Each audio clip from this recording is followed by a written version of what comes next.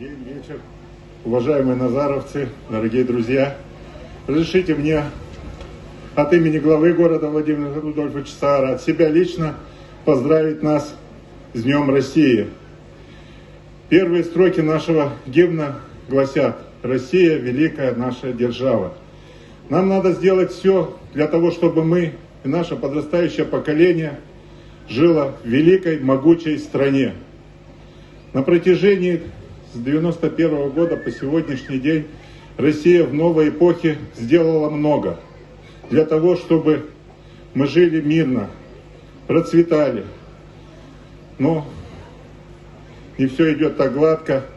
Но мы надеемся, что общими усилиями, усилиями старшего поколения, нашего поколения, подрастающего, мы сделаем все для того, чтобы наша Россия была, есть и будет могучей страной.